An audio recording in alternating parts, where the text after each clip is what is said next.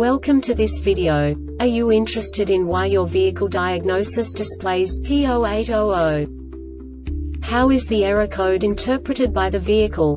What does P0800 mean, or how to correct this fault?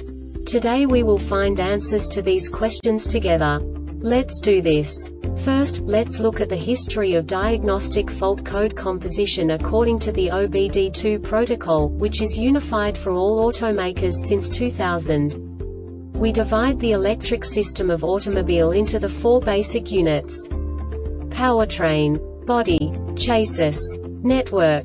This distribution is defined in the first character code.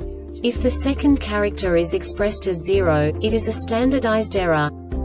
In the case of numbers 1, 2, 3 it is a more prestigious expression of the car-specific error.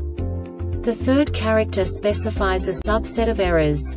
The distribution shown is valid only for the standardized DTC code.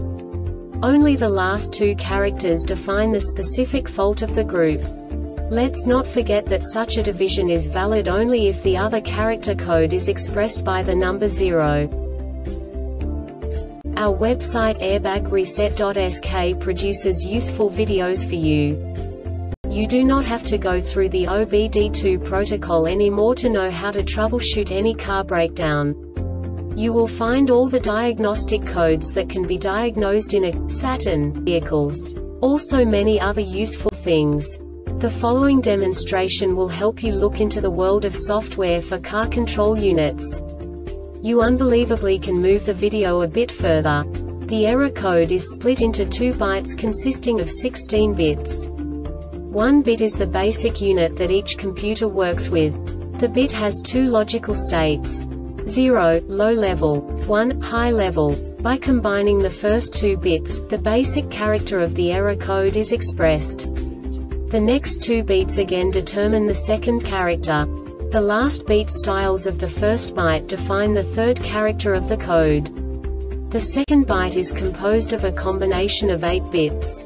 The first 4 bits determine the fourth character of the code. And the combination of the last 4 bits defines the fifth character. A single byte conceals 256 possible combinations. We now know in what way the diagnostic tool translates the received information into a more comprehensible format. The number itself does not make sense to us if we cannot assign information about it to what it actually expresses. So, what does the diagnostic trouble code P0800 interpret specifically Saturn car manufacturers? The basic definition is keyless or KOS key 1 performance. And now this is a short description of this DTC code. The mechanism which automatically changes a code for lock-unlock each time a lock operation is performed is referred to as a rolling code if KOS-ECU receives wrong signal out of synchronization of a rolling code from the keyless operation key, KOS-ECU memorizes DTC B1A08.